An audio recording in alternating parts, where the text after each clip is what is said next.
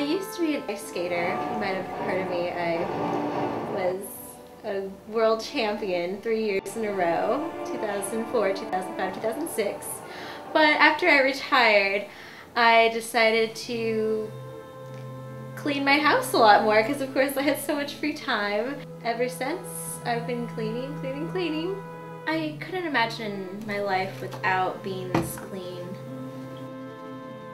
You know, it's hard to go out with friends.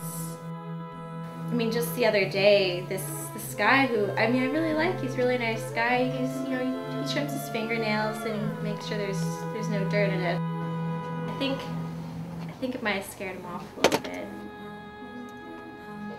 because when I got there, he didn't he didn't come.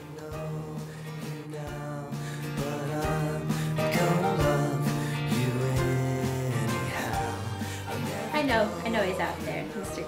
Mr. Clean.